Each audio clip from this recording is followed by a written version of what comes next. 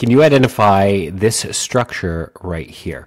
JohnForBootcamp.com. In this video, we're going to be taking a look at a dissection of the spinal cord and identifying some structures found within this area. So starting off first, we're looking at the spinal cord and we've dissected the dura mater and we've reflected it. So the dura mater is going to be that outermost protective layer. Now on the inner lining of that dura mater, that's where we're actually going to have the arachnoid mater. So we're technically within the subarachnoid space, and this is where we're going to find that cerebral spinal fluid. Now remember, we have that pia mater, which actually sits on the spinal cord. Let's zoom on in and get a better look at these structures. So you can see this right here, this would be that conus medullaris, where the spinal cord comes to an end, and then it gives off these spinal nerves, which form the cauda equina. And then if we follow the conus medullaris all the way down, you can see it terminates as this kind of silver string right here. And this is known as the filum terminale. And bonus points if you know what the filum terminale is made out of. This is actually composed of pia mater, and this is what anchors the spinal cord to the vertebral column. So the correct answer in this case is going to be the filum terminale.